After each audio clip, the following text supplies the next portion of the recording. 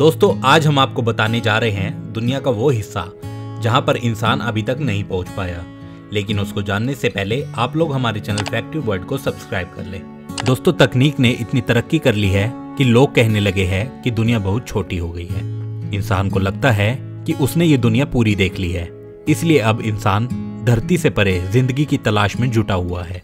सौर मंडल और इसके बाहर अंतरिक्ष यान भेजे जा रहे हैं। ब्रह्मांड में करोड़ों किलोमीटर दूर देखने की कोशिश हो रही है। पर क्या वाकई हमने इस दुनिया का हर कोना खोज डाला है? क्या अब इंसान की नज़र से इस धरती पर कुछ भी छुपा हुआ नहीं है? ये सवाल उठा है पर्यावरण वैज्ञानिक डॉक्टर जूलियन बेलिस की खोज से।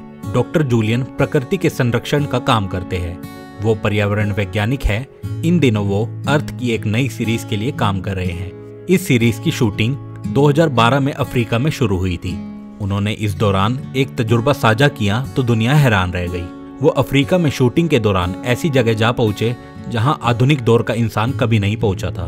ये अफ्रीकी देश मोजाम्बिक के उत्तरी इलाके में स्थित एक पहाड़ी माउंट लीको की खोज का किस्सा है।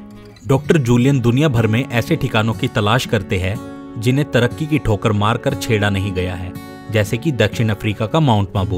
उपग्रहों, ड्रोन, कैमरा ट्रैकिंग और रिमोट सेंसिंग की मदद से डॉक्टर जूलियन और उनकी टीम ऐसे अनछुए इलाकों की खोज करती है और इसके बाद इन जगहों के नक्शे बनाए जाते हैं।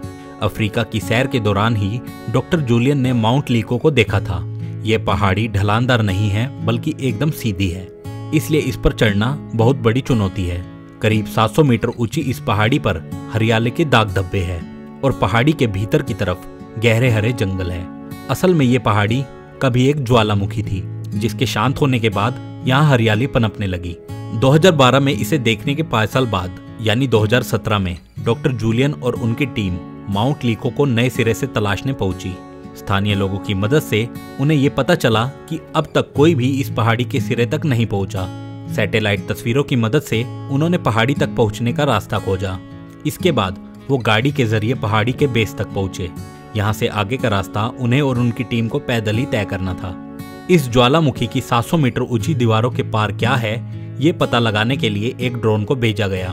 दिक्कत तब हुई जब ये ड्रोन वापसी में रास्ता भटक गया। हालाँकि बाद में बड़ी मशक्कत से इसे सही रास्ते पर दोबारा लाया गया। इसके बाद ड्रोन को दोबारा माउंट लीको ज्वालामुखी के मुहाने पर भेजा गया। इस बार ड्रोन जो तस्वीरें लेकर आया, वो हैरान करने वाली थी। अंदर जंगली बैलों का साम्राज्य था परिंदे आबाद थे ऐसा लगा कि मानो माउंट लीको के अंदर एक अलग ही दुनिया आबाद थी। इन तस्वीरों को देखकर डॉक्टर जूलियन और उनके साथी बहुत उत्साहित थे। उन्होंने ज्वालामुखी की 700 मीटर ऊँची दीवारों को पार कर जाने का फैसला किया। ये सीधी और तीखी चढ़ाई बेहद मुश्किल थी।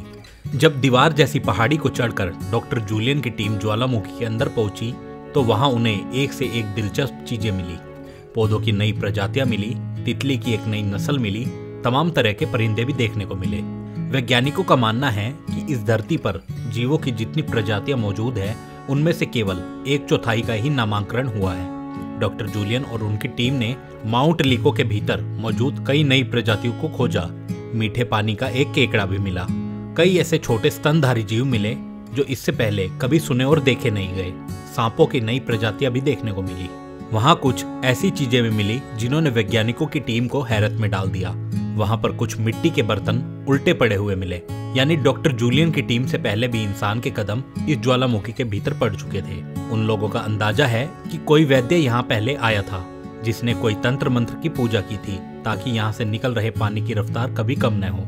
डॉक्टर जूलियन का कहना है कि माउंट लीको की खोज से एक बात तो साफ़ है कि इंसान को कभी ये नहीं सोचना चाहिए कि उसने इस दुनिया का हर कोना खोज लिया है। अभी भी दुनिया में तमाम ऐसे ठिकाने हैं जो इंसान की नज़रों से छुपे हुए हैं। इस दुनिया में अभी भी बहुत कुछ ऐसा है जिसकी खोज होनी अभी बाकी है। इस धरती के पास इंसान को चौंकाने के लिए अभी बहुत कुछ है। दोस्तों, ये थी वो जगह जहाँ इंसान अभी तक नहीं पहुँच पाया। आपको ये जानकारी कैसी लगी, हमें कमेंट बॉक्स में ज़रूर बताएँ और इस वीडियो को लाइक और शेयर करें और साथ ही साथ हमारे चैनल फैक्टिव वर्ल्ड को सब्सक्राइब करें।